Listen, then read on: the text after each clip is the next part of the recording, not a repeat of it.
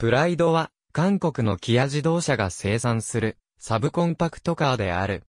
第1世代は、初代フェスティバの現地生産車であり、第2世代は2代目リオの韓国使用車、第3世代は2代目のフルモデルチェンジ版である。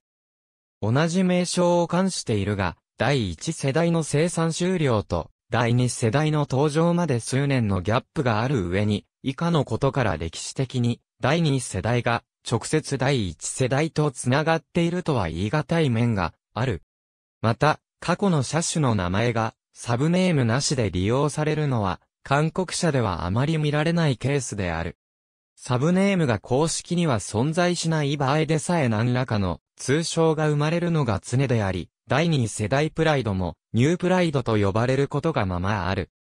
3ドア、5ドアハッチバック5ドアワゴン4ドアセダンがあり、5ドアハッチバックと4ドアセダンは日本にも左ハンドルのまま輸出され、それぞれフェスティバ5とフェスティバベータとしてオートラマより販売された。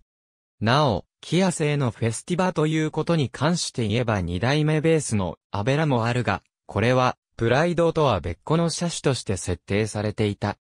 2011年のジュネーブショーで、コンセプトモデルが初披露され、同年4月のソウルモーターショーにおいて開発コードの UB での出展を経て、同年9月28日発表、発売された。ヒュンダイアクセント、アクセントウィットとは、プラットフォーム、ガソリンエンジンを共用する関係にある。前者に SRS サイドエアバッグ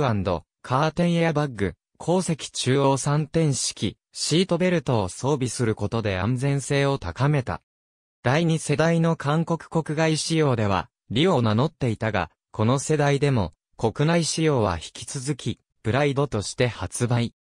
また、イメージキャラクターには、歌手グループのカラーを採用しているが、その理由は、新型プライドとからは、それぞれのジャンルが各地で最高のものと認められ、共に韓国内でのカムバックに対する期待が高いからである。中国市場においては、若干のエクステリアの手直しが施された上で、キア K2 の名で販売される。KARAが広報。新型プライド、オンライン、屋外広告が話題、中央日報。Http コロンスラッシュスラッシュジャパニーズ .joins.com スラッシュアーティクルスラッシュ388スラッシュ